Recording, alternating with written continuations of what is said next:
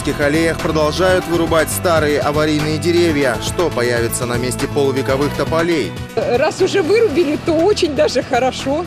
Они цвести будут весной, а потом для птиц осенью будет, будут ягоды. Двойной праздник, как край и его столица день рождения отмечали.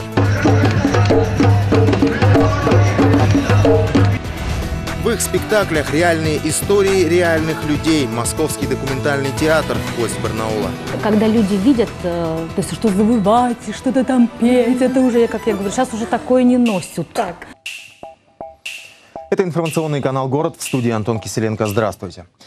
Уже на этой неделе в Барнауле начнется отопительный сезон. По информации Комитета по энергоресурсам и газификации, запускать тепло планируют 20 сентября. При этом сами, сами жители могут повлиять на температуру своих радиаторов, написав коллективную заявку в управляющую компанию.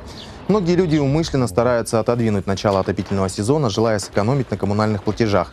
Напомним, подача тепла начинается, если среднесуточная температура воздуха в течение пяти суток составляет не более 8 градусов. В Барнауле продолжается массовая вырубка старых деревьев. Сохранять полувековые тополя становится небезопасно, заверяют специалисты. Старые деревья хрупкие и ломаются во время непогоды. Потому было принято решение вырубить более тысячи старых деревьев и посадить новые. Вот так сейчас выглядит аллея вдоль улицы Профинтерна. Пусто и безжизненно. От тополей, которые являлись украшением этой территории, создавали тень в жаркую погоду, не осталось практически и следа, лишь обломки веток и пеньки. Этой осенью сотрудники горзеленхоза высадят почти 200 яблонь, выровняют грунт и посеют газон, а весной здесь уложат асфальт. Установят скамьи и урны. Предполагается, что аллея приобретет новый ухоженный вид к лету 2018 года. Ну, мне кажется, лучше будет, что будет посажено. От тополей же тополиный пух, что-то, какие-то вот эти вот. Ну, думаю, что будет хорошо озеленение, будет красиво, будет жить цвести, будет все хорошо у нас. Прекрасный будет город. Я думаю, что украсит, конечно. Конечно, раньше были тополя, березы, да, а сейчас это, ну, я думаю, что будет гораздо лучше. Раз уже вырубили, то очень даже хорошо. Они цвести будут весной, а потом для птиц осенью будет, будут ягоды. То есть э, очень хорошая вещь. Ну, конечно, тополя хуже будет, чем э, новые какие-то деревья. Это да, но вопрос только в том, как они приживутся и сколько будут расти. Потому что большие не посадят, а какие посадят, они, может, только лет через 10 нормальными будут. А до этого времени она довольно-таки куца будет смотреться. А мы продолжим. 300 тысяч рублей отсудила барнаульская пенсионерка у крупной компании-перевозчика после падения в автобусе. Как сообщает прокуратура Алтайского края, в апреле 2016 года 57-летняя женщина ехала на работу в автобусе номер 109. Водитель резко затормозил, пенсионерка упала и сильно ударилась головой. Автоперевозчик и страховая компания отказались возмещать причиненный ей моральный вред – Потерпевшая подала в суд и выиграла. Решением Октябрьского районного суда Барнаула с транспортной компанией взыскано 300 тысяч рублей. Перевозчик не согласился с суммой компенсации и счел, что достаточно и 100 тысяч. Но жалобу ответчика оставили без удовлетворения. Коллегия согласилась с выводами районного суда. А сейчас к главной теме прошедших выходных. Парад оркестра в гонке на роллерных лыжах, открытие Барнаульского Арбата. В краевой столице прошел двойной праздник. Он был посвящен 287-му дню рождения Барнаула и 80-летию Алтайского края. Для тех, кто не смог побывать на праздновании, краткий обзор основных мероприятий подготовил Илья Кочетков. Хлеб, соль, город мастеров, народные промыслы и даже робототехника, музыка и веселье. Традиционно площадь Советов стала выставкой достижений, которыми славятся Барнаул и Алтай. Войлочные вещи, в которых столетиями ходили в сибирские морозы, разнообразные украшения. А вот так наши предки веками изготавливали всю металлическую утварь от лопаты до гвоздя. Теперь же пламя и наковальня служат искусству. Это концевик ветки, также участвует в панно, в подсвечниках, в кованой мебели. Традиционное, знакомое, всегда близкое. Место хватило и спортсменам, и ремесленникам. А барнаульцы гости города перетекали от площадки к площадке. Благо, погода выдалась прекрасная. И лишь иногда им путь преграждали спортивные забеги. Например, вот такие экзотические на лыжероллерах. Итак, Дан старт забегу женщин на Одной из изюминок праздника стал парад духовых оркестров. Наряду с барнаульскими на этот раз поздравить соседей прибыли музыканты из Новокузнецка, Новосибирска, Бийска, а также из Казахстана и Республики Тыва.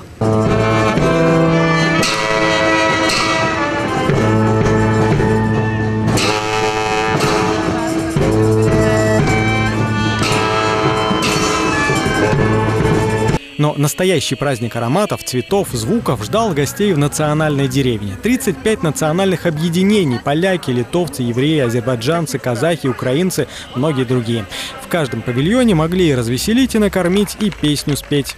Ой, дер гуляла, позадер гуляла, а с кем стояла, с казаком стояла. А вот здесь сразу вспоминаешь, что Алтай издавна называют краем тысячи народов. Хотя студенты из Нигерии признались, что жить у нас после окончания учебы вряд ли останутся сильно холодно, однако уже чувствуют себя как дома.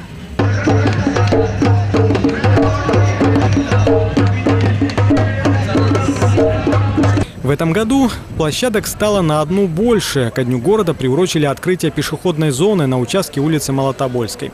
Его власти и горожане уже неформально окрестили Барнаульским Арбатом. Происходящее заранее анонсировали как выставку «Барнаул туристский». Туризм по-барнаульски – это живые скульптуры, изображающие персонажей из истории горнозаводского прошлого. Здесь же предлагали свои услуги ведущие барнаульские турагентства. За, собственно, арбатскую атмосферу отвечали художники, организаторы развлекательных площадок и фотозон, и творческие коллективы. Ради этого большинство людей готовы были прикрыть глаза на многое. На то, что часть Арбата пока лишь нарисована, а один из ключевых пунктов туркластера, парк Центрального района, только начинает преобразовываться. В принципе, конечно, лучше стало, чем было вот эту улицу взять, да, потому что здесь и ларьки были, и асфальт был положен кое-как. Первая ласточка удалась. Она не первый блин. Вот. Но если это тормознется только вот этим открытием и дальнейшего развития не будет, это будет ну, не, неправильно. Ближе к вечеру барнаульцы потянулись на площадь Сахарова, причем так активно, что к началу концертной программы были заняты даже подступы к главной сцене. Неудивительно, поздравить краевую столицу и край приехала вечно молодая группа «Корни». А я теряю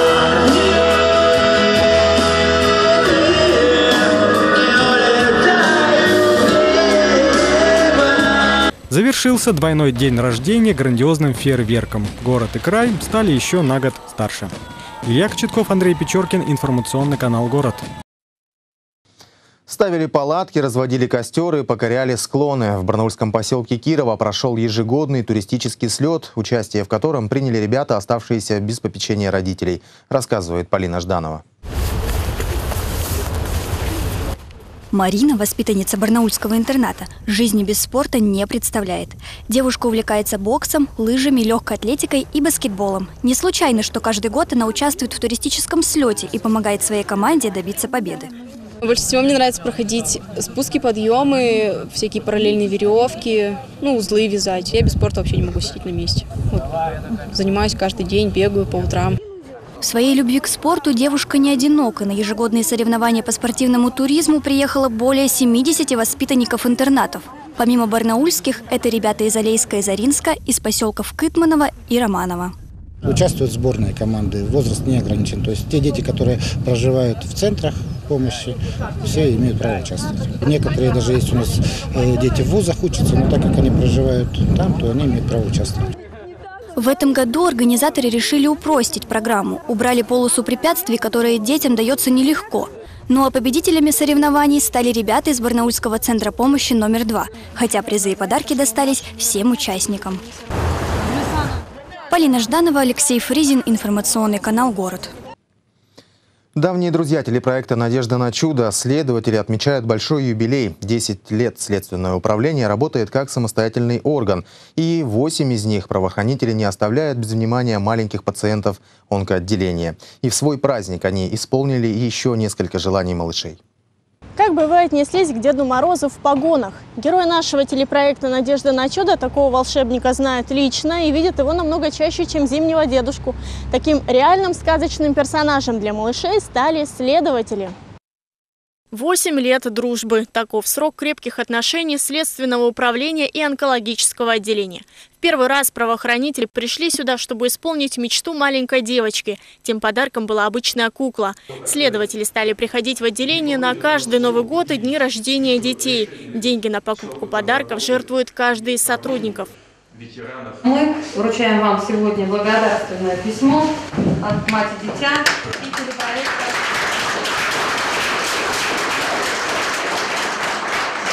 Сегодня у вас в гостях телепроект «Надежда на чудо», потому что вы с нами пошли именно с этого телепроекта. А, Я его придумала в 2009 году, предложила моим друзьям-телевизионщикам, они стали моим вторым крылом, и мы с вами обрели новый проект, на которому в этом году исполнилось 8 лет. То есть в итоге вы идете с нами 8 лет.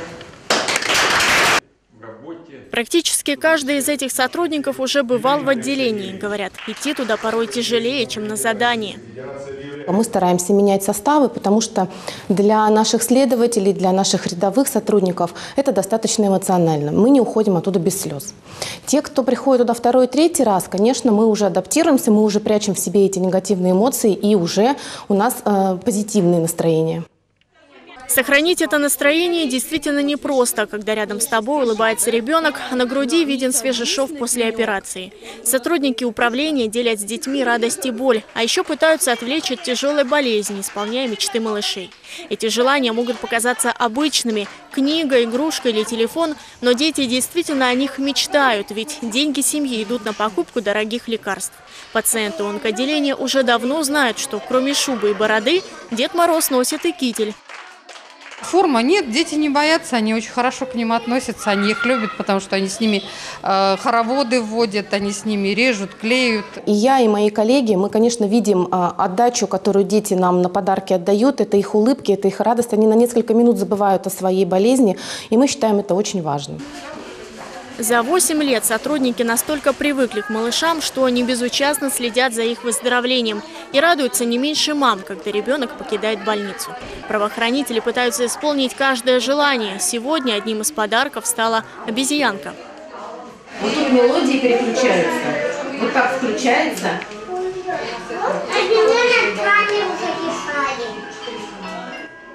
Машинка обязательно дождется в отделении Данилу. А еще одно желание исполнилось в Славгороде у маленького Василисы.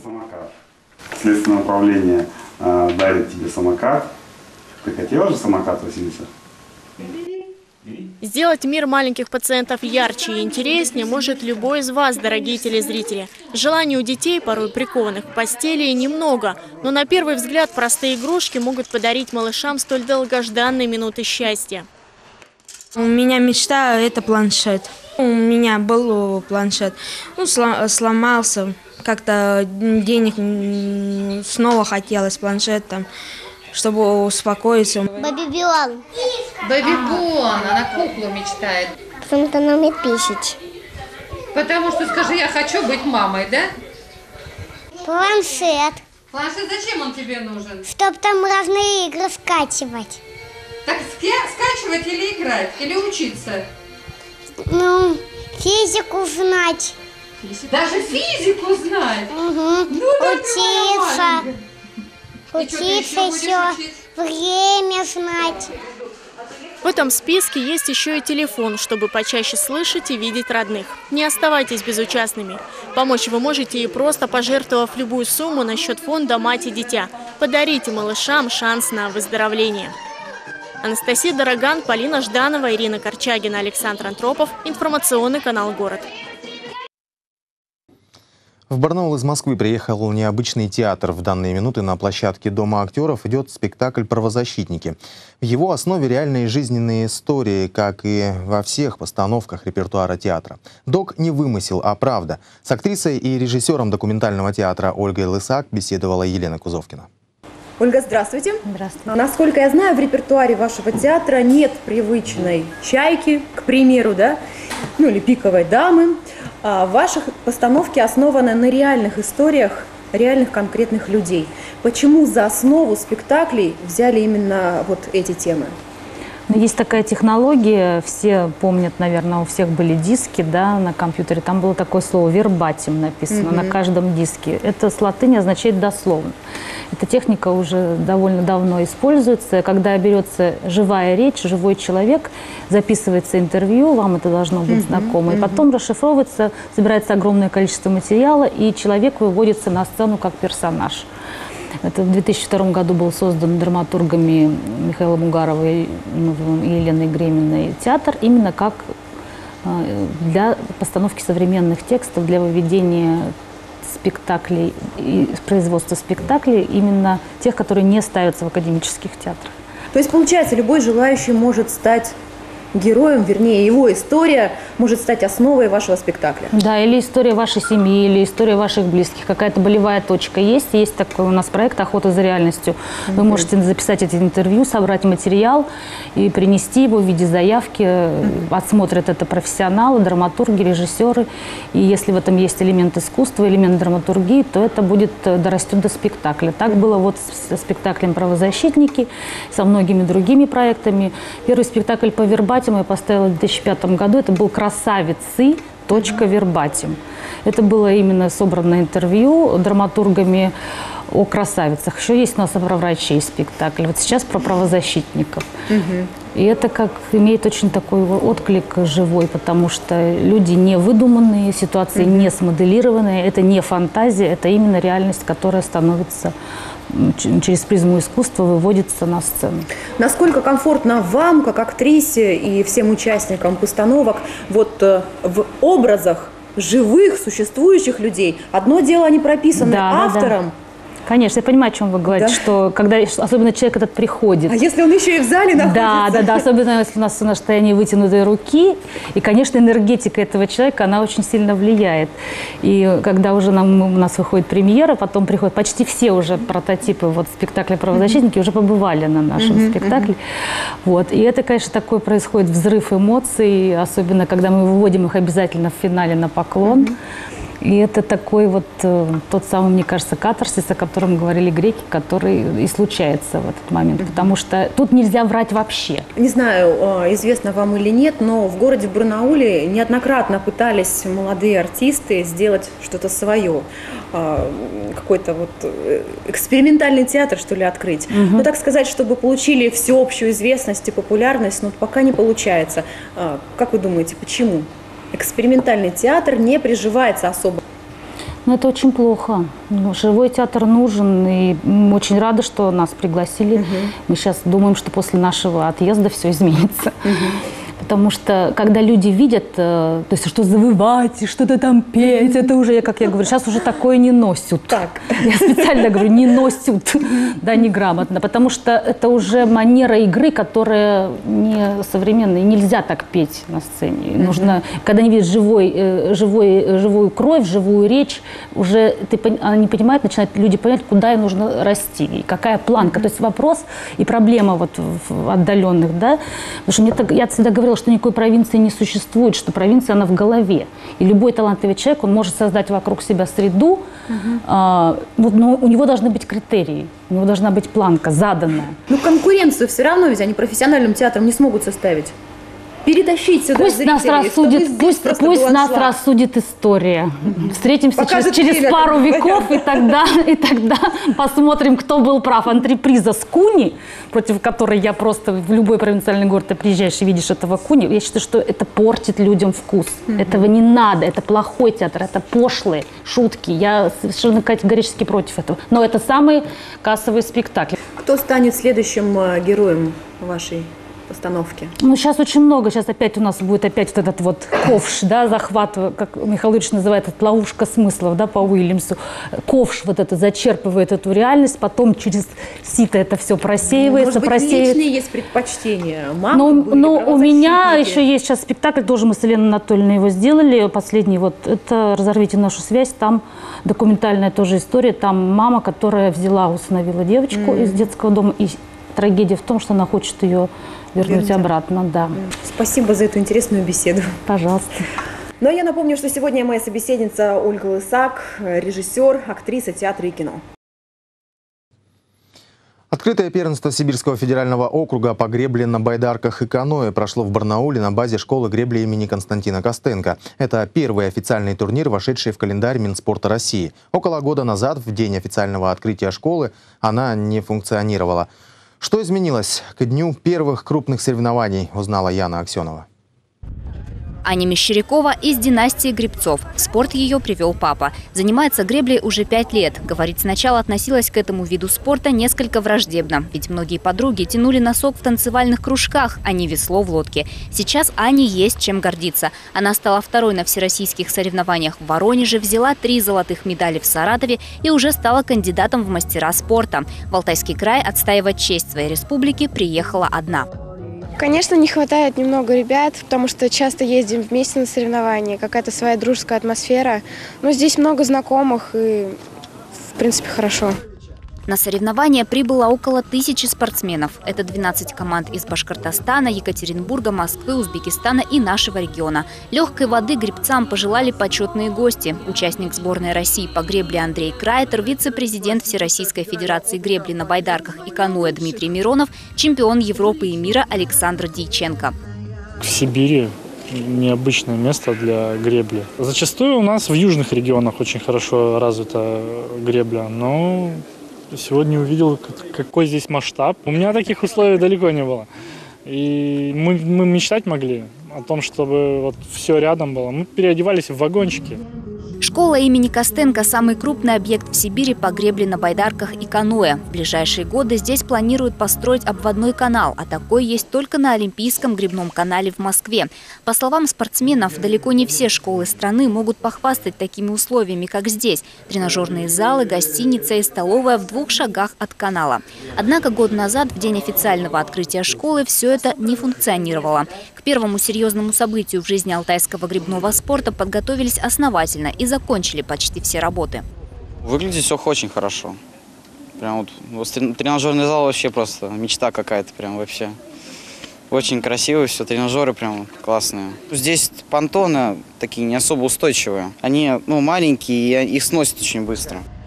В следующем году за счет внебюджетных средств начнут строительство обводного канала. Его наличие позволит проводить соревнования международного уровня. Это второй этап строительства школы гребли.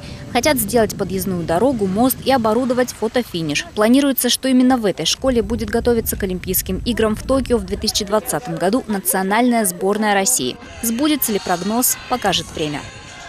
Яна Аксенова, Алексей Фризин, информационный канал «Город». Массовый старт. Сразу несколько алтайских профессиональных клубов открыли сезон в минувшие выходные. Так, волейбольный университет дважды в родных стенах не оставил шанса гостям из Георгиевска. Счет обоих встреч словно под копирку 3-0. Какие еще клубы одержали победу, а кто потерпел поражение, знает Кирилл Политов. Затяжное пике Барнаульская «Динамо» проигрывает второй матч подряд. На этот раз выездной встречи против смены из Комсомольска на Амуре. До середины первого тайма дела у сине-белых шли более чем успешно. Отличился форвард Владимир Завьялов. Однако уже до перерыва хозяева отыграли сначала один гол, а затем забили еще два. В результате 3-1 победа дальневосточников. Следующую игру команда Сергея Шишкина также проведет на выезде, на этот раз против клуба «Сахалин». Вслед за «Динамо» неудачу потерпел и «Алтай Баскет» под пристальным взглядом нового тренера Рамуалдиса Петрониса, который приступит к обязанностям с января. Барнаульцы вылетели из борьбы за кубок страны. Неутешительные новости для болельщиков пришли из столицы Урала. Как раз с хозяевами паркета баскетовцы сыграли ключевой матч квалификации. Вновь, как и в прошлогоднем финале, сильнее был Уралмаш. Счет 90-75. Дальше в одну шестнадцатую стадию идут свердловцы, барнаульцы едут домой готовиться к чемпионату. Громкая пощечина хоккейный Алтай в первом официальном матче сезона на глазах у родной публики в день рождения краевой столицы разгромлен гостями из набережных Челнов. Счет встречи выглядит и вовсе катастрофой 2-6. Свои фамилии на табло увидели барнаульцы Маркелов и Жданов. На следующий день подопечные Евгения Бакланова все же взяли реванш. Вновь дважды отличился Жданов, затем Шубович и Симоненко. Гости ответили лишь двумя заброшенными. Как итог 4-2 в пользу красно-синих. Две такие боевые игры вчера, да, вот эти вот эмоции немножко перехлестнули ребят. Там многие на себя не были похожи. Ну, провели собрание немножко, поговорили. Дальше Алтай вновь играет на домашнем льду. 20 и 21 сентября принимает клуб Чебоксары. Обе игры начнутся в 19 часов ровно. Кирилл Политов, информационный канал «Город». Сегодня в 20 часов на ТНТ смотрите новую серию Ольги. Ольга становится бабушкой, но Гриша не желает разделить с ней это счастье, он просто исчезает. У Ани депрессия, и Андрюха решает помочь ей. А в 21.00 не пропустите ТНТ-комедию «Восемь первых свиданий». Телеведущая Вера знать не знает о существовании ветеринара Никиты, однако судьба зачем-то упорно сводит их вместе. Чем закончится эта история, смотрите сегодня на ТНТ. В жилом комплексе «Парковый», расположенном по соседству с Барнаульским санаторием, начали возведение первого дома. Комплекс построят в Сосновом Бару. Он станет логическим продолжением Барнаульской Рублевки. Мечтаете жить в живописном месте недалеко от центра? Есть решение. В жилом комплексе «Парковый» строят современные уютные квартиры. Ценителям комфорта придутся по душе высокие потолки около трех метров и панорамные окна с видом на сосновый бор. Дизайнеры оформят территорию в эко-стиле. Это очень хорошее перспективное место и единственное последнее, наверное, оставшееся в Барнауле для застройки. Потому что более таких мест э, респектабельных, я думаю, уже, наверное, не будет. Шесть домов премиум-класса на Зминогорском тракте станут продолжением Барнаульской Рублевки. Сдача первого из них запланирована на четвертый квартал 2018-го. Но застройщик опережает сроки и планирует ввод в эксплуатацию в августе-сентябре следующего года.